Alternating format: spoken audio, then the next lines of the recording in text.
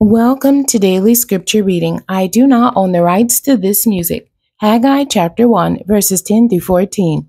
This is the authorized King James Version. Therefore, the heaven over you is stayed from dew, and the earth is stayed from her fruit. And I call for a drought upon the land, and upon the mountains, and upon the corn, and upon the new wine, and upon the oil, and upon that which the ground bringeth forth, and upon men, and upon cattle, and upon all the labor of the hands. Then Zerubbabel the son of Shealtiel, and Joshua the son of Josedech, the high priest, with all the remnant of the people, obeyed the voice of the Lord their God and the words of Haggai the prophet, as the Lord their God had sent him, and the people did fear before the Lord.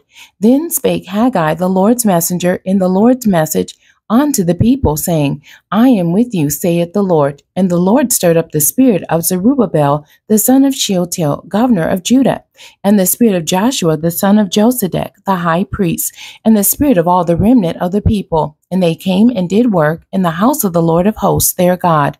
The end. God bless you, and thank you for joining me today.